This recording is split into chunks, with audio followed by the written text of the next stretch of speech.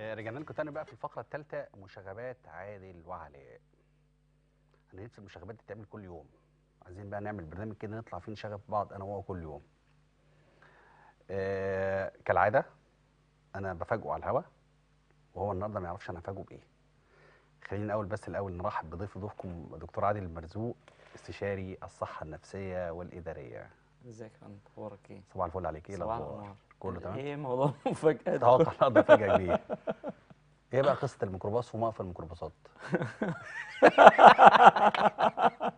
إيه بقى القصة؟ لا لا لا يعني يعني؟ يعني في موقف حصل معاك من 3 4 أيام في موقف الميكروباصات. إيه بقى الموقف طب بقى ده الكلام ده أنا بقوله لك إحنا مع بعض. أنا إيه بقى القصة؟ لا مفيش. كنت راكب يعني ومسافر من من محافظة للتانية. أنا من النوع اللي بقدم محاضرات في أكتر من مكان فبتحرك أيوة. كتير. فلقيت حد كده داخل عليا بيفتح باب العربية اللي قدامي وأنا قاعد منتظر بقى يعني العربية تحمل يعني كلنا ونطلع تمام. فبيقول لي هو أنت حضرتك بتيجي في التلفزيون؟ قلت له آه. قال لي على قناة الصحة والجمال. قلت له آه باجي على قناة الصحة والجمال برنامج صحتك ثروتك. كنتوا بتتكلموا كده في موضوع كده المرة اللي فاتت قلت له أيوه عن الكاريزما. آه تمام. تمام وبعدين لسه بكمل بنتكلم لقيته قام سايبني. آه طلع هو يا رجالة هو يا رجالة. عارف أهمية أهمية ال- ال- الموقف ده إيه؟ مم. إذا إحنا قناة متشافة وبرنامج متشاف فكل كلمة بنقولها. بتسمع في الناس. صح. بالك أنا؟ أكتر حاجة عجبتني مش إن هو بيقول إن أنت ظاهر في التلفزيون. الموضوع. أنا لقيته بيكلمني في الموضوع اللي بنتكلم فيه. أيوه أصل هو ممكن يبقى شايفك. يعني ممكن تمام. وأنا بقلب بتاع آه. لقيت حد كده ايا كان هو بيعمل إيه. بس إنك تبقى فاكر الكلام اللي بيتقال كان كنا بنتكلم عن إيه أو إيه الموضوع لا يبقى إذا أنت مهتم. وبعدين الموضوع إن يبقى موجود في أكتر من شريحة من المجتمع بكافة طوائفهم وكافة ثقافتهم فده بصراحة كان مؤشر كويس. بس ده اداني إحساس بالمسؤولية ده كده الهدف الأساسي من برنامج صحتك ثروتك هو اللي مم. حصل معاك في التو- الميكروباصات. إن إحنا بنقدم حاجة للناس. قيمة ده آه، حقيقي. لو تفتكر الحلقة اللي قبل اللي فاتت الأسبوع اللي قبل اللي فات كنا مم. بنتكلم على قوانين الكاريزما. صح. ولفت نظري في قوانين الكاريزما آه وأنت بتقول القوانين كان القانون الثالث أو الرابع على ما أعتقد وقلت من أهم الحاجة الثقة بالنفس. آه طبعا. تمام؟ مم. عايزين بقى نخش كده في الثقة بالنفس نعرف يعني إيه ثقة بالنفس وعلاقة الثقة بالنفس بالكاريزما. ممتاز جدا. طيب هي الفكرة ببساطة خالص إن لو إحنا عملنا هرم رسمنا هرم كده سميناه هرم الثقة هنلاقي إن قاعدة الهرم ناس آه، عديمة الثقة. يعني في ناس ما عندهاش ثقة بنفسها. اللي أعلى منهم ثقتهم في نفسهم ضعيفة. ثقة ضعيفة. امم اللي أعلى منهم في الدرجة ثقة متوسطة. تمام. اللي أعلى ثقة مرتفعة. طب في أعلى من الثقة المرتفعة؟ هم أصحاب الكاريزما. يعني قمة هرم الثقة هي الكاريزما. تمام. ولذلك إحنا اتفقنا على concept أو مبدأ قبل كده قلنا إن مفيش شخص charismatic مش واثق في نفسه. يعني معنى ذلك يعني أنا الفقره النهارده هي الثقة بالنفس والكاريزما. تمام. صح على كده؟ اعتبار إن الثقة بالنفس هي القاعدة الأساسية للكاريزما. تمام. يعني عمري ما هكون charismatic وأنا عندي مشكلة في الثقة بالنفس. تمام. فلازم أقوي ثقتي بنفسي الأول وبعد كده أبدأ أدور على الكاريزما. هو أنا اللي بقوي ثقتي بنفسي ولا اللي حواليا هم اللي بيقووا ثقتهم بنفسي؟ آه، حلو حلو السؤال؟ جميل. الله طيب. عليك. الله عليك. آه، فكرة إن أنا اللي ب... أنا اللي بزود ثقتي في نفسي ولا الناس اللي حواليا اللي بتزود هي فكرة معادلة متوازنة ما بين الاتنين. تمام. بمعنى إن أنا تقديري الذاتي بيفرق في ثقتي بنفسي وآراء اللي حواليا أوقات بيزود الثقة وأوقات بيقللها. بس درجة استجابتي لآراء الآخرين هي بقى اللي بتفرق. يعني لو أنا استجابتي استجابة هشة اللي هو يعني أنت قلت كلمة حلوة فأنا أتحفز قلت كلمة وحشة فأنا أحبط إذا أنا في الآخر كأنك كأني مديك مفتاح شخصيتي. يعني آه. اللي هو قول اللي أنت عايزه. أنت النهاردة هتعمل إيه؟ هتبسطني ولا هتك- هتكئبني؟ هتقول لي كلمة تحفزني ولا كلمة تحبطني؟ مم. هتقول لي كلمة تزود ثقتي في نفسي ولا كلمة تهزني؟ مم.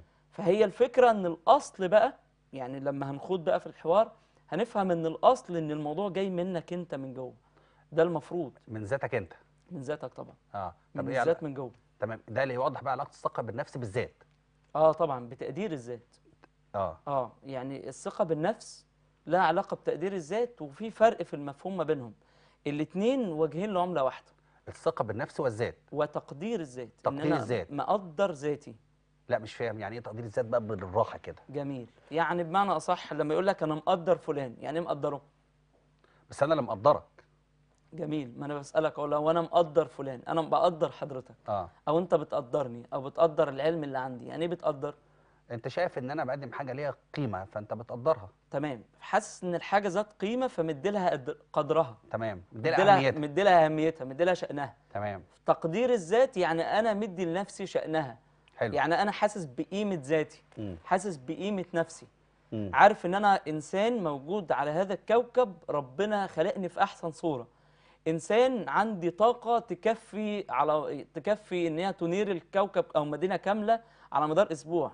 إنسان عنده مليارات الخلايا في مخه. إنسان ربنا خلقه وله إمكانيات ما يستاهلش إن يبص لنفسه نظرة دونية. مم. ودي الأزمة. المشكلة كلها إن عكس الثقة بالنفس حاجة من اتنين. يا واحد مغرور قوي الثقه بنفسه مدياله غرور زايد عن اللزوم فيبقى شخصية نرجسية. مم. يا واحد عنده ضعف في الثقة بالنفس فبقى شخصية دونية شخصية متجنبة. آه هو هو بي بيحبط من نفسه أو بينزل من قيمة نفسه. من قيمة نفسه بينزل من قدر نفسه. ولذلك ثقته في نفسه بتقل. عشان كده أنا بقول إن دايما الثقة بالنفس هي الظهير الخارجي وتقدير الذات هي الظهير الداخلي. يعني بمعنى مم. أنا تقدير الذاتي هو تصوري عن نفسي حلو يعني أنا تصوري عن ذاتي إن أنا شخص ذات قيمة أنا بعرف أتكلم كويس أنا قارئ أنا مطلع أنا بفهم في شغلي حتى لو أنا شغال ميكانيكي أنا صنايعي شاطر مم. إيه، أنا علاقتي حلوة أنا اجتماعي أنا بفهم. فصور تصوره عن ذاته تصور إيجابي ينعكس في موقفه عن ذاته لأن أنت أنت دايما بتاخد تصور عن الشيء ثم ينعكس بموقف عن الشيء مم. يعني مثلا أنت خدت موقف من فلان يقول لك مم. لا أحسن فلان ده أنا واخد منه موقف يعني أنت واخد منه موقف سلبي سيء مم. وواحد تاني واخد موقف إيجابي أكيد يسبق هذا الموقف تصور مم.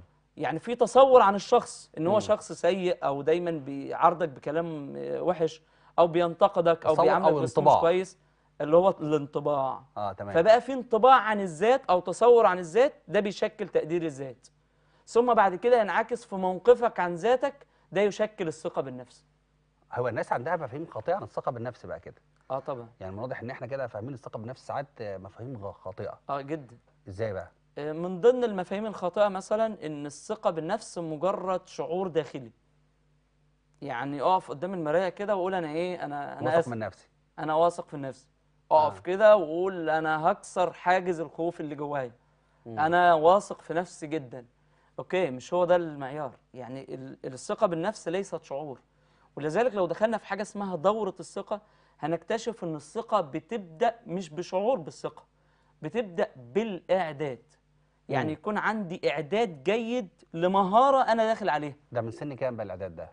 الإعداد لأي حاجة. آه. من من من منذ الطفولة. آه، يعني عايز أقول يعني- الثقة بالنفس دي في يعني هو أنا لو خدنا لو جبنا طفل صغير أيوة. عنده 3 4 سنين أيوه بيطلع على السلم لو هو لسه بيتعلم المشي هل بيطلع طلعت ثقة وبينزل بسرعة لا. ولا سنة بسنة ومهزوز وخايف وبيسند سنة ليه سنة. لأن مك... هنا لسه ما فيش إعداد لما يتمرن ويمارس ويبقى في إعداد جيد يعني حضرتك بتعد للحلقة اللي بتعملها بتعد لظهورك على القناة المخرج بيعد لأسلوبه مثلا ممثل بيعد للدور اللي هيقدمه. لاعب كورة بيعد للماتش وبيتمرن ويتدرب. لاعب آه، لعبة معينة هكذا. صنايعي بيتعلم. آه، محامي بيدرس قانون كويس. فبقى في إعداد جيد. الإعداد ده لما يتحط في الفعل يدينا الدايرة الثانية في دورة الثقة وهي الأداء الجيد. مم. لأن كان في إعداد جيد حطيناه في الفعل فبقى أداء جيد. فلما أدائك يبقى جيد الناس تقيم أدائك. فسمعتك تزيد وتعلى. لما سمعتك تعلى تديك دعم بشعور بالثقة.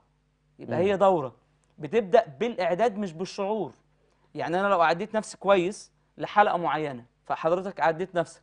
حطيناها في الفعل فأدائك بقى باين جيد. هي جينا نقيم أدائك. آه، المدام قالت لك والله ده أدائك كان حلو. الناس قالت لك تسلم. آه، ما شاء الله أسلوبك كان رائع جدا في الحلقة. فسمعتك بدأت. تزيد. فبقى عندك فده. يديك دعم بالثقة بالنفس. ولذلك بنسأل سؤال هل الطبيب الجراح بيبقى واثق في نفسه في أول عملية بيعملها ولا العملية رقم 100 ده العملية رقم 100 هل المحامي بيبقى واثق في نفسه في المرافعة الأولى ولا المرافعة رقم 100 بس هو بيبقى عنده الاستعداد.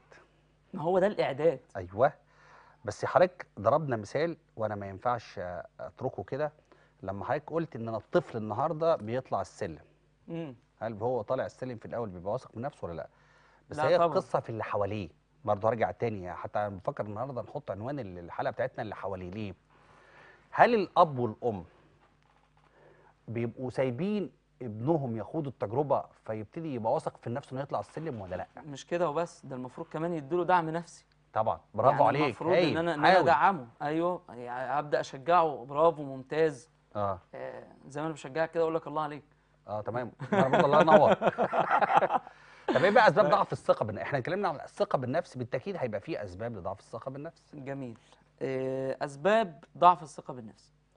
في أسباب كتير من أولها التنشئة الاجتماعية منذ الطفولة. حلو تمام, تمام؟ وفي فكرة المقارنة بالآخر. إن أنا دايما أقول له شايف ابن عمك شايف ابن خالك شايف جايب كام شايف أخوك بيسمع الكلام شايف فلان مش عارف إيه فدايما أعمل عملية اعقد مقارنة بينه وبين أقرانه أو بين أمثاله. سواء في درجته بقى في المذاكرة بتاعته في أسلوبه في طريقة حواره. في الآخر دايما بعقد مقارنة بينه وبين الآخرين. فدي سلوكيات بتيجي من بره. تمام. ولكن بالنسبة لنا إحنا ككبار بعد ما كبرنا وعدينا مرحلة التنشئة الاجتماعية أهم سببين لضعف الثقة بالنفس واللي مدمرين الدنيا أول سبب هي الصورة الذهنية السلبية عن الذات. تمام. يعني أنا واخد انطباع سلبي عن نفسي. مم. كلنا بلا استثناء اللي موجودين دلوقتي. والمشاهدين اللي بيسمعونا ورا القناة كل واحد فينا عنده مجموعة انطباعات عن نفسه مقسومة في قائمتين. مم. قائمة أستطيع وقائمة لا أستطيع. تمام. يعني أنا بعرف أو ما بعرفش. أنا بقدر تمام. أو ما بقدرش. أنا تمام. بفهم أو أنا ما بفهمش. تمام. فمثلا على سبيل المثال أنا هسأل حضرتك نلعب لعبة صغيرة. أنا هسألك وأنت تقول لي دي أستطيع ولا لا أستطيع. أنا قدامي دقيقة وأستطيع فيها. بعد الدقيقه مش عارف أستطيع. إيه ده؟ الحلقة أنتوا. في إيه؟ كده. ده ده مفيش ثقة خالص بالنفس في ال في ال مفيش ثقة في المواهب معاك. اتفضل. فدايما أنا عندي تصور ذهني عن ذاتي إن أنا آه، إما أستطيع أو لا أستطيع. مم. أنا أعرف أو لا أعرف. تمام. تمام؟ فكلمة لا أعرف دي أو ما أقدرش دي اللي بتكتفني. مم. يعني أنا ما بعرفش أعمل كذا. تمام. طب اطلع اتكلم قدامك. لا لا لا لا أنا بتلجلج وبتلخبط وهرتبك. مم. فطول ما الصورة الذهنية دي عنده فهي عاملة له قيد مكتفاه حطاه في قالب. فمهما زود إعداده لنفسه وزود مهاراته الشخصية هيفضل دايما أداؤه مهزوز وضعيف لأن بالفعل ما كانش آه، محلش اللي هي الصورة الذهنية السلبية اللي مكونها عن نفسه. تمام. يحلها إزاي؟ في ثلاث حاجات صغيرين. تمام. أول حاجة رد إيجابي. يعني إيه رد إيجابي؟ يعني بدل ما أقول أنا ما بعرفش أعمل كذا فأقول أنا أعرف أعمل كذا. وإيه المانع يعني؟ بقى في عوامل زيادة الثقة بالنفس. تمام. صح كده؟ تمام. حلو. معاك أنا عشان ننهي. معايا. لا، صح معايا- كده. تمام. طب نخش على السبب الثاني نخش على السبب التاني. هنخش على السبب الثاني هي التأثر بآراء الآخرين.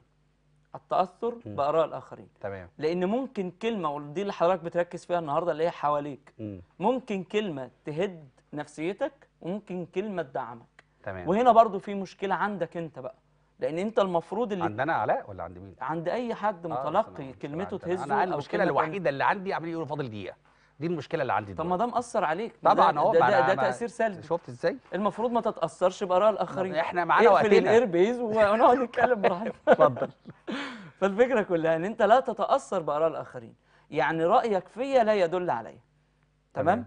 دول أكتر مشكلتين عاملين مشكلة وأزمة في الصحة النفسية أنا ما بتأثرش أو بآراء في ثقتي. بنفسي حتى إيه؟ اللي يقول لك أنا بقطعك أنا ما بتأثرش جميل؟ يعني ده ما بيأثرش لا فيك ياثرش فيا حلو ده واحد. بيقطعك يبقى أكتر سببين إيه هما؟ لا تستبعد اراء الآخرين لا لا تستبعد بآراء الآخرين. الآخرين وصورتك الذهنية السلبية عن ذاتك ندخل طيب. في العوامل لا خلي العوامل اللي نخليها الحلقة الجاية. وأنا هربط خلي بالك أصل إحنا قوانين الكاريزما هناخدها زي ما قلت لك قانون قانون ما ده أهم فيه. قانون فيهم اللي هو إحنا ابتدينا بالنفس. بالثقة بالنفس هنشوف بقى الحلقة اللي جاية عوامل زيادة الثقة بالنفس ونخش بعد كده نشوف قانون تاني من قوانين الكاريزما نتكلم فيه خلي بالك إن قوانين الكاريزما أنت لما تيجي تبص للكاريزما هي ممكن تبقى أساس الحياة بتاعتنا إنك تبقى إنسان charismatic في كل شيء وإحنا نفسنا تبقى دولة charismatic. لما نبقى دولة charismatic هنبقى بين الدول كلها مميزين. إيه رأيك في القفلة دي؟ حلو. الله عليك. الله عليك. نهاية حلقتنا النهارده. أحب أشكر دكتور عادل مرزوق استشاري التنمية الذاتية والإدارية والمشاغب اللي بيطلع دايما يحب يشاغب معلقه ال- ال- الحلقة النهارده خلصت بسرعة عشان كان فيها فقرات كتير وبرامج كتير. ولكن على أمل لقاء الأسبوع اللي جاي وقبل ساعة من دلوقتي وإحدى حلقات برنامجكم صحتك ثروتك أشوفكم على خير.